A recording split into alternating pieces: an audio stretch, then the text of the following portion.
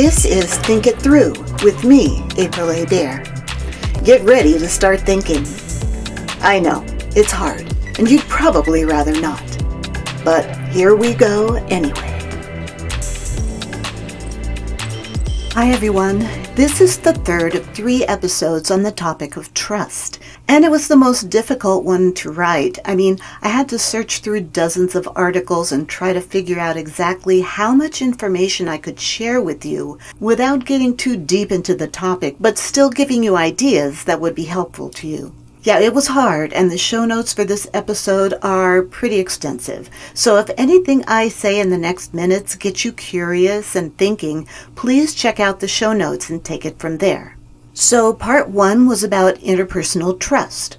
Part two was about skepticism and how it should help us trust in science. And this one, part three, is about why we sometimes tend to trust people who don't have any real expertise on a topic, including ourselves, rather than pay attention to the experts who actually know what they're talking about. I can't tell you the number of times I've heard or read something like, I can figure things out for myself. I don't need an expert to tell me what to do. And hey, I'm not here to tell you that's 100% wrong. However, I am here to tell you that it's sometimes wrong. Yeah, that's vague, so let's get more specific, shall we? Here we go. Let's start with the word expert. What does it mean?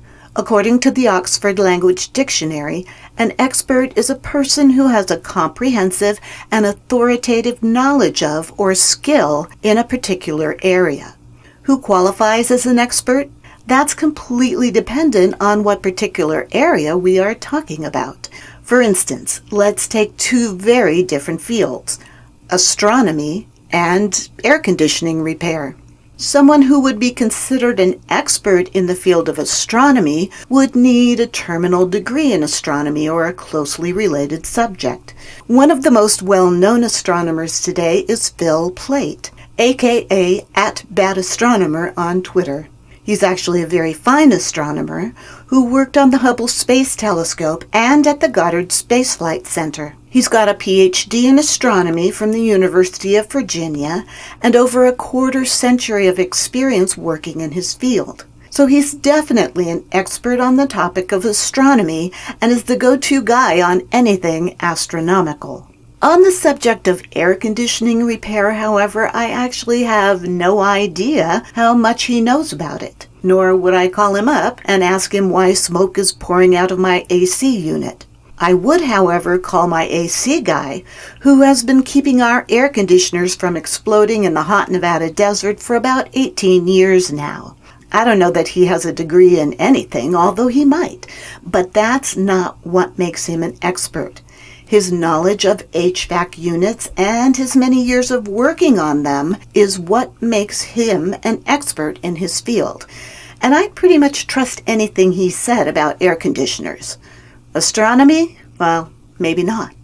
So that seems very cut and dried, but these days it's far more complicated than that.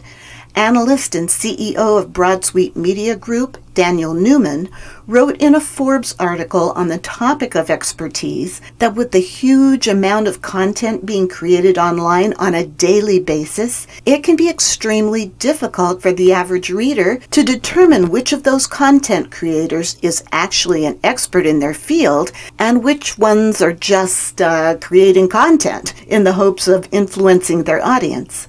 I mean, anyone with a computer and an internet connection can create the impression that they know what they're talking about. And people can and do fall victim to so-called experts online all the time. So determining who is and who is not an expert, that's a problem. But that's not the only problem with experts. One of the hallmarks of American society is that we are very individualistic, meaning we're focused first on ourselves as the creators of our own destinies. This self-reliance, which is a good thing, by the way, unfortunately also carries with it the idea that we can fix all of our own problems and we don't need anyone telling us what to do. Thank you very much. Alexis de Tocqueville the great 19th century historian and diplomat who came to America to study our way of life, admired American individualism even while he noticed that we also had a large streak of anti intellectualism. It's a bit disconcerting to realize that a country that has some of the finest universities, that produce some of the greatest minds in the world, which has led to amazing scientific, medical, and technological discoveries, is the same country in which a large percentage of the population believed former President Trump when he said that experts are terrible and he doesn't need to listen to them. In fact, a rather large percentage of the population would trust the opinion of their friend or a, a, blogger or their favorite TikTok artist on a topic rather than an expert on that same topic. Yeah, there's a lot of cognitive dissonance going on here. So let's look at some other reasons besides our national character that might explain why many people hold these opinions about experts.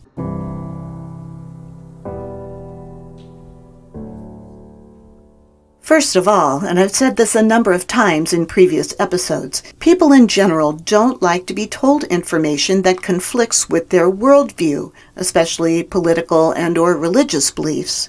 Most people are fine with the experts whose opinion they already agree with, but it should come as no surprise that people don't like to be told they're wrong and they often react by slamming the bearer of that unwanted information and dismissing it out of hand.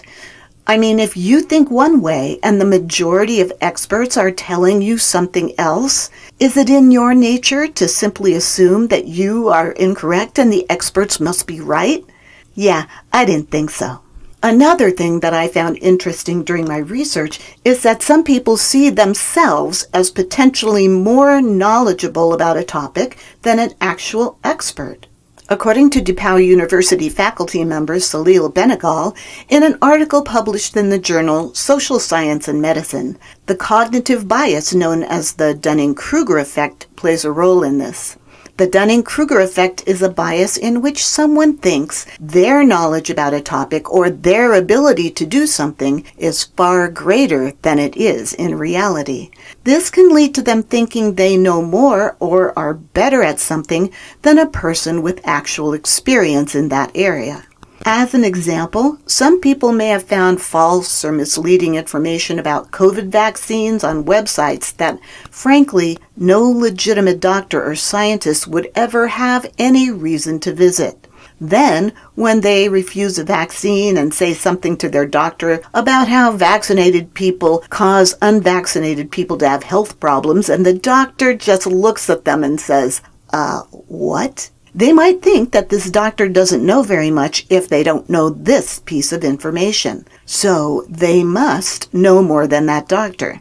Now, there's no legitimate evidence that says vaccinated people are any kind of a threat to unvaccinated people, but does a doctor have time to explain how vaccines work to someone who thinks like that? They might, but they probably don't. A third reason is that people often don't see experts as being honest enough. They think that these experts might have a bias or they may be being paid by a corporation to do research, and therefore that research is suspect. And certainly experts, being the humans that they are, do have biases. Experts, however, are more likely to be cognizant of their own biases, at least as they relate to their field of expertise, than the average person, simply due to their education and training. As I mentioned in episode 19 while discussing the scientific method, they do their best to factor those biases out of any research they conduct. As experts, they absolutely have a duty to the public to try to be as correct as they can possibly be. That doesn't mean that they're always totally correct. Sometimes they're wrong. But to then say that they can't be trusted because they are not always correct is definitely overgeneralizing. Plus, most experts who find out they were incorrect are only too happy to correct themselves and let the public know where their ideas fell short. And yes, there are many experts who are associated with or work for corporations. And universities do get grants from corporations to do research. That does not make them or their research findings automatically suspect although it does make the peer review and replication phases of the scientific method extremely important. It also means that experts should be fans of increased transparency and accountability so the public knows these things. But it doesn't mean that the information that comes from experts who work at for profit corporations or have received funding from them should be summarily dismissed. A fourth reason is that people may associate experts with elitists or aligned with elitist viewpoints. That's the idea that experts look down on regular people and side with a select group of influential individuals who somehow are working against the best interests of those regular people. I'll post a link to a 2020 public radio article that talks about Idaho state lawmakers' attempts to strip their public health districts power to close schools during the pandemic. While debating on the issue, one of the state senators said, and I quote, Listening to experts to set policy is an elitist approach, and I'm very fearful of an elitist approach. He insisted that the public health officials who said they were doing it for the public good, which is frankly their job, were actually taking steps towards totalitarianism. His opinion, however popular it was within his party, was in direct opposition to the majority of Americans who consistently supported measures like school closings and mask mandates at the height of the pandemic. Jacques Peretti, award winning investigative reporter for the BBC, states that experts and elites were once trusted to the same degree that they are distrusted today. Now, he says, scientists, economists, mathematicians, academics, and journalists are all tagged as elitist and discounted and demonized by a large percentage of the population. I'll link to Peretti's article. It gives a really thorough discussion of why and how this happened.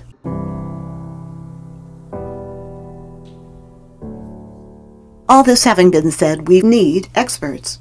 Ashley Landrum, a professor of science communication at Texas Tech University, says that they are essential to our society.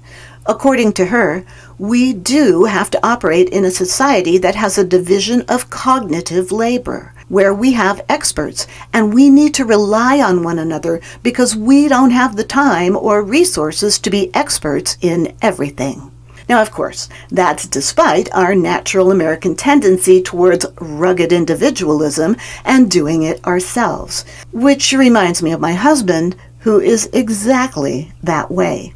Once, when YouTube had just become a thing, I came home from work and he said to me, Hey, I just watched a hysterectomy operation on YouTube, so if you should ever need one, I can totally do it. Of course, he was joking. At least I think he was joking, but the idea that anyone can learn everything about anything by watching YouTube has really taken us over.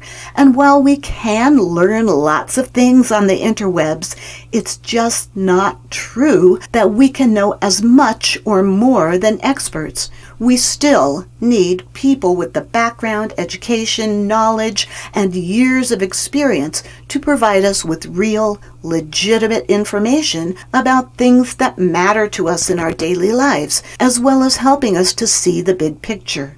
So, how can we know who to trust? And equally important, how can experts help us realize that we can trust them? Daniel Newman, who I cited before in this episode, has some good tips about making sure the person who claims expertise on a topic is actually an expert, not just someone with an opinion. Always, always look at the person's biographical information.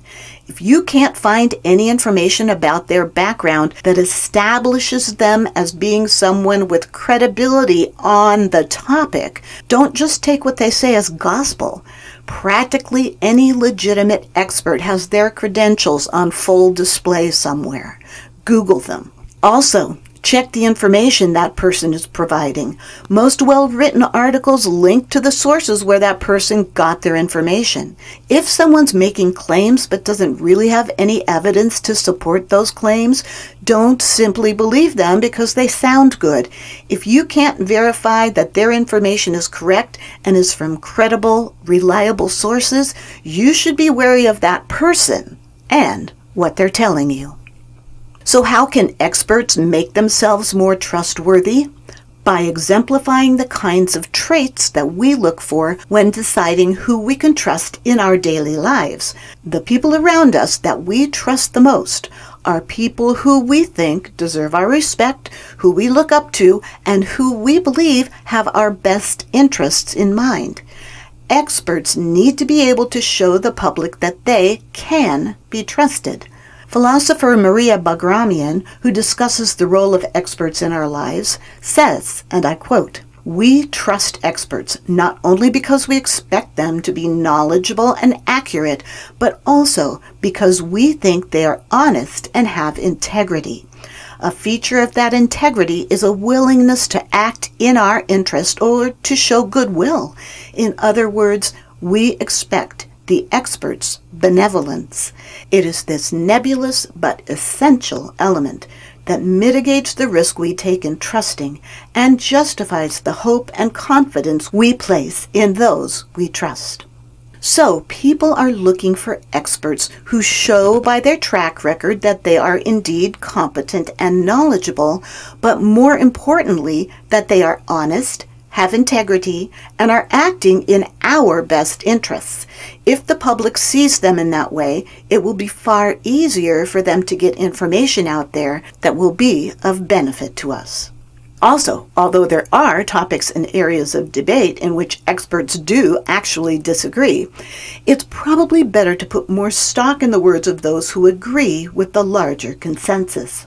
Because, as I stated in the last episode, a consensus among experts in a particular field is the outgrowth of lots of research and data, and it isn't come to lightly.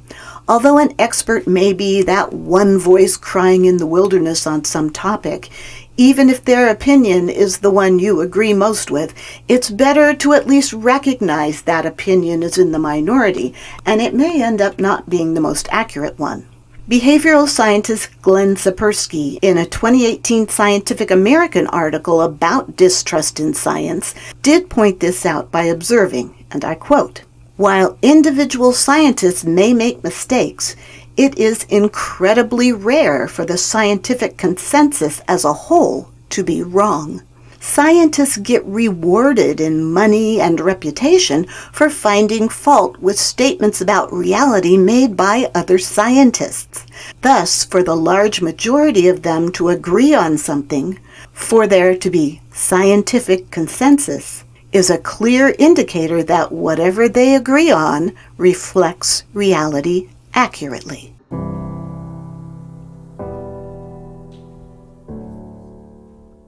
You know, I honestly think I've just scratched the surface of this really important topic. But for those of you who would like to read more about it, I've put a lot of good articles in the show notes. Also, this is the last episode of season two, and I'm off for a couple of months to travel, recharge, and get ready for my fall semester students. If you want to contact me to let me know what you think, or maybe you have an idea for an episode, you can find me on Facebook at Com Teacher April. That's C O M Teacher April. It's all one word. I'll be back soon, but in the meantime, I hope you use all the information in these episodes to help you think it through.